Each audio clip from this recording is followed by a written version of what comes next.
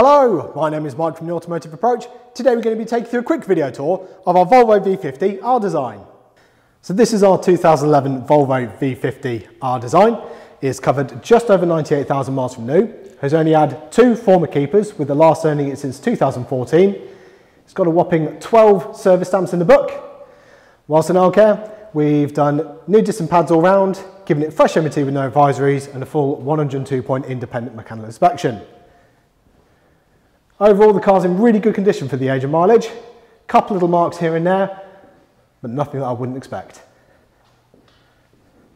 Inside, you've got the lovely two-tone R-Design seats, AM FM radio, aux input.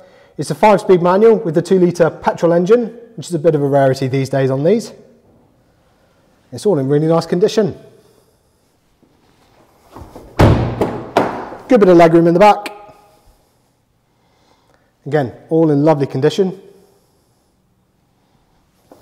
And you've also got a nice practical boot to match.